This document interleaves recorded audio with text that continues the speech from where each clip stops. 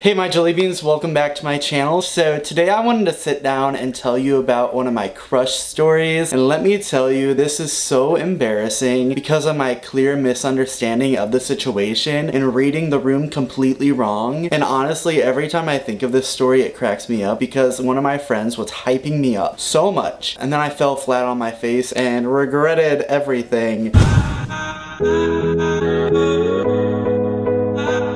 So I really just wanted to sit down and tell you this story about my crush's secret and honestly it's so funny how everything turned out. But if you're not subscribed to my channel be sure to hit the subscribe button and join the Jelly Bean Squad. I do make a lot of videos about sexuality and just my life so if that's something you're into be sure to subscribe. But we're just gonna hop in this video and talk about my crush's secret which honestly wasn't really a secret and wasn't really anything but I'll get to that. So this all starts out a few years ago whenever I was in college and I had the biggest crush on this football player and he was everything that I'm attracted to. Brown hair, brown eyes, nice teeth, a football player. Literally everything that you can think of. And honestly, I had a thing for this guy. Like a really big thing. And that sounds really dirty. Probably shouldn't have worded it that way, but it's okay. I was really attracted to this guy and we were decent friends. Eventually I decided, why don't I come out to him and just tell him maybe he'll come out to me too. Maybe he's hiding a little secret and we can be bi buddies. And I came out to him and he was super cool about it. He told me, thanks for telling me. That's really nice of you. And I waited and that was the conversation. That's all that happened. I was a little mad. You can come out to me. You know that, right? You know you can come out to me. But he didn't because he was straight, as they all are. He clearly has my heart at this moment, but I'll get over it. I always do. I always get in the way of my feelings and eventually it blows up in my face. So I can deal with it. Over time, I felt like he was being flirty. He would say things like, You're such a good guy. Anyone would be lucky to have you. And I was like, okay, are you like spicing me up? Are you buttering up this turkey? What are you doing? Doing? Are you getting ready to go ham on me? And I thought he was being flirty and I thought he was trying to make a move. So I just went along with it and I was like, thanks, you're really attractive too. If you're giving me compliments, I'm gonna give them back. And eventually we were just talking with each other and he asked me if I liked movies. And clearly I like movies. Who doesn't like movies? And he asked me, What type of movies do you like? Action movies, romantic movies. And it was just a nice conversation we were having, but I didn't know why he was asking. And then he said, Do you like the drive-in? And clearly I don't like the drive-in but I do like the drive-in if it's with you. So I said yes. Yeah.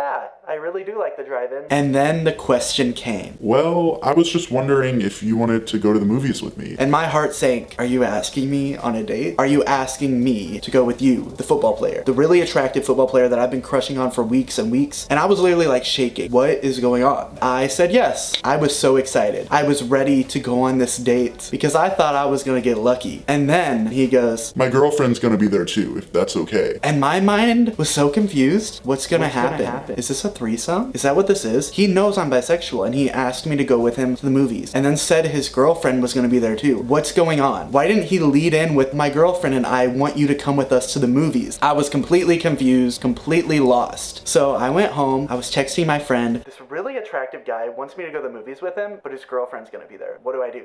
And she went off. He wants a threesome, you better do it. But me being the shy little that I am, I don't know what to do. So I'm freaking out, thinking that this is gonna be a thing, thinking I'm gonna go and then it's gonna lead to something that I'm not really sure about doing. And I was terrified. And eventually I decided to stay home because clearly this man had a girlfriend. Clearly this man was straight, or at least I thought. What if I would go, think something was gonna happen, and then completely embarrass myself? I was not in the best position to go and do this because clearly I thought it was something in the moment. But in reality, he was probably just being nice and noticed, hey, this guy might need some friends. Me and my girlfriend are going, and that's it. And eventually I learned it was a group get together, and it was so embarrassing when I found that out because I had to message my friend and say, he was just being nice. He was not trying to get with me. And I should have known better because clearly I was not the most attractive person. And for the football player to ask me, that doesn't happen in real life. That is not a real life scenario. That happens in the movies. And I should have known better, but I didn't. And it was hilarious when I found out that it was just a group of people going because I thought it was something more. But honestly, maybe he did want a threesome. I don't know. The world will never know and I will never know, sadly. But he was one of the most attractive people that I've ever had a crush on. Still breaks my heart to this day that it could have happened, but it didn't. Shoulda, coulda, woulda, never know. But I want to thank you guys for watching this video and coming back every single week. I hope you guys are liking my story times because I'm going way back into my memories and diving deep into my embarrassing moments that